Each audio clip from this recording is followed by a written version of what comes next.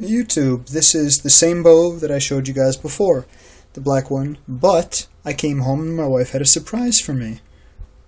She'd continued the decoration and made it a little bit more intricate, going all the way down to the handle where I will eventually wrap it with probably leather. Oh my gosh. Mind is blown. Good job. Wow, she did a beautiful job. Um, I don't know if you can really see the detail on the the leaves. There we go. I'm happy with that. I think she did a very nice job. So, what started off as a very delicate, pleasant design is now really satisfying. Great job. Cool. Hope you guys are inspired by that, because I sure am.